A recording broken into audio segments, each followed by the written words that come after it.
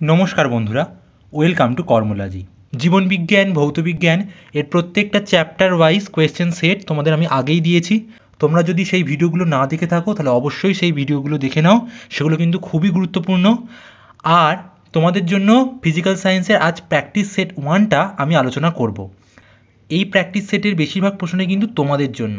তোমরা চেষ্টা করবে সেই উত্তরগুলো অবশ্যই কমেন্টে জানানোর। উত্তরের পিডিএফটা অবশ্যই তোমাদেরকে টেলিগ্রাম গ্রুপে দিয়ে দেবো। দেখো, তোমাদের জেএনএম এন্ট্রান্স এক্সাম দু হাজার একুশে পঁয়ষট্টি নাম্বারের মধ্যে পঁচিশ নাম্বারে কিন্তু জীবনবিজ্ঞান আছে আর পনেরো নাম্বারের আছে ভৌতবিজ্ঞান। তাই জীবনবিজ্ঞানের পরে যদি কিছু গুরুত্বপূর্ণ বিষয় হয়ে থাকে, সেটা কিন্তু ভৌতবিজ্ঞান। তাই ভৌতবিজ্ঞানে কিন্তু তোমাদের বিশেষ রকম জোর দিতে হবে। তোমরা আমাকে অনেকেই কমেন্ট করে জানিয়েছো ভৌতবিজ্ঞানের প্র্যাকটিস ক্লাস শুরু করতে। আমি তাই তোমাদের জন্যই প্র্যাকটিস ক্লাসটা শুরু করে দিলাম। তাহলে চলো, শুরু করা যাক। দেখো প্রথম প্রশ্ন কি বলছে? কোন উষ্ণতাকে পরম শূন্য উষ্ণতা বলে?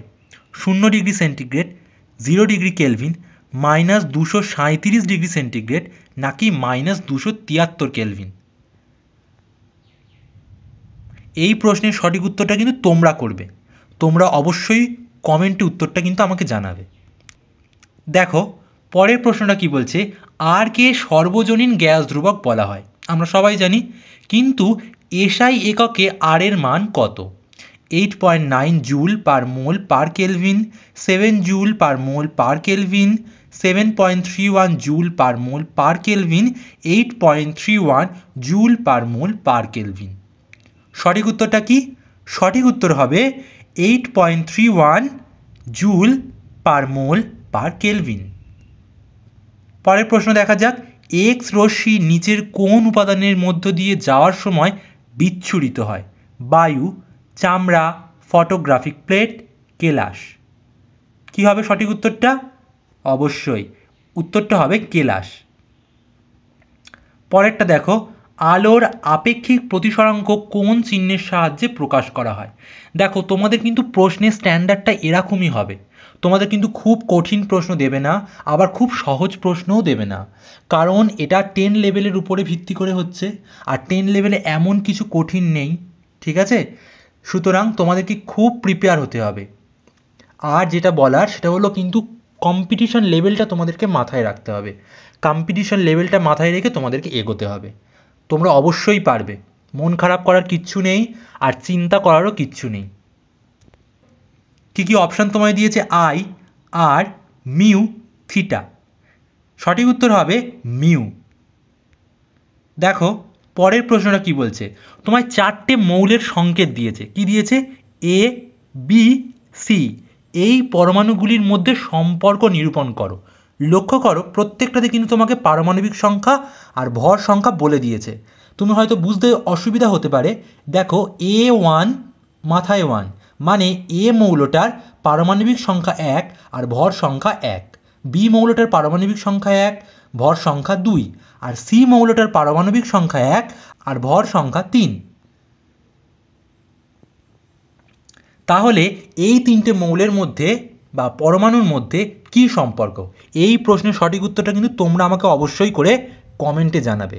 তাহলে কি কি অপশান এখানে দিচ্ছে? দিয়েছে আইসো বার আইসোটোপ, আইসোটোন। নাকি কোনো সম্পর্কই নেই? এটা কিন্তু তোমরা অবশ্যই আমাকে কমেন্টে করে জানাবে। আর একটা কথা তোমাদেরকে বলার, তোমরা কিন্তু অবশ্যই টেলিগ্রাম গ্রুপে জয়েন হয়ে যাও। সেখানে রীতিমতো আমি তোমাদের বিভিন্ন রকম ক্লাস দিচ্ছি, তোমাদের বিভিন্ন সমস্যার সমাধানও করে দিচ্ছি। তাই তোমরা এখনও যারা টেলিগ্রাম গ্রুপে জয়েন হওনি, তারা অবশ্যই কিন্তু টেলিগ্রাম গ্রুপে জয়েন হয়ে যাও। আমি সেই গ্রুপের লিঙ্কটা ডিসক্রিপশান বক্সে দিয়ে দিচ্ছি।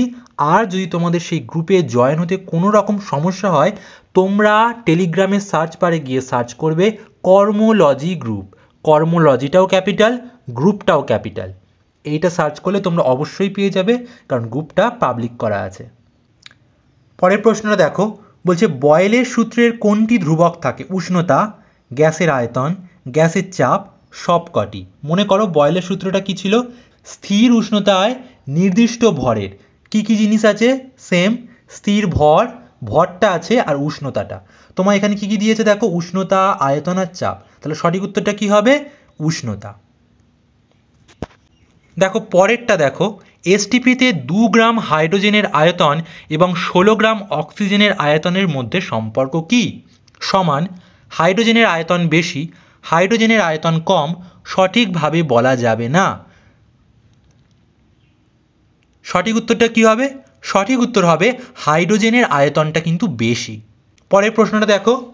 পারদের হিমাঙ্ক কত? Minus fifty degree centigrade, minus twenty degree centigrade, minus forty nine degree centigrade, minus thirty nine degree centigrade. সঠিক উত্তর কি? সঠিক উত্তর হবে minus thirty nine degree centigrade.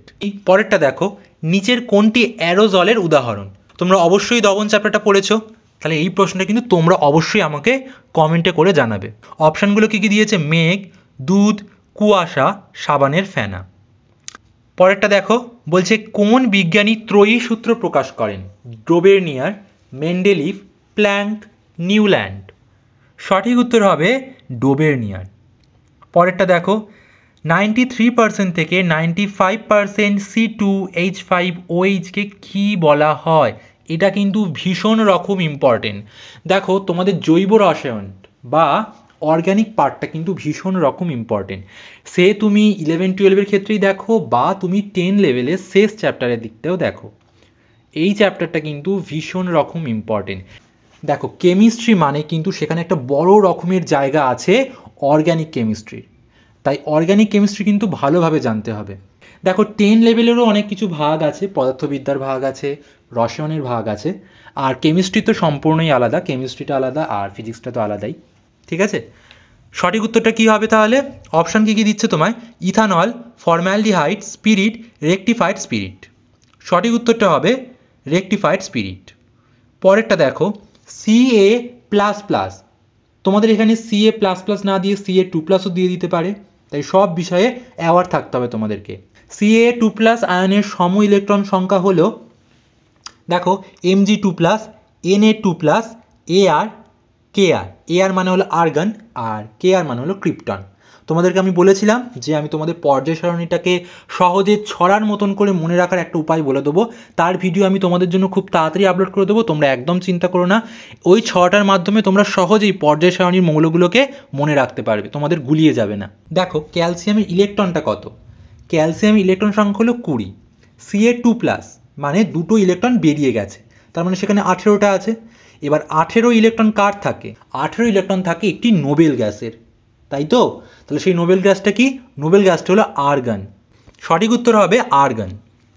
পরেরটা দেখো, বি জাতীয় উত্তরটি চিহ্নিত করো। কি দিয়েছে? গন্ধক, হলুদ, ব্রোমিন, গাঢ় লাল, আয়োডিন বাষ্প, বেগুনি, জিঙ্ক, নীল। এর মধ্যে থেকে কোনটা বি জাতীয়? গন্ধক হলুদ হয়, একদম ঠিক। ব্রোমিন গাঢ় লাল, একদম ঠিক। আয়োডিন বাষ্প বেগুনি হয়, ঠিক। জিঙ্ক নীল হয় কি? না, জিঙ্ক কিন্তু নীল হয় না। তাহলে সঠিক উত্তরটা হবে জিঙ্ক। পরেরটা দেখো।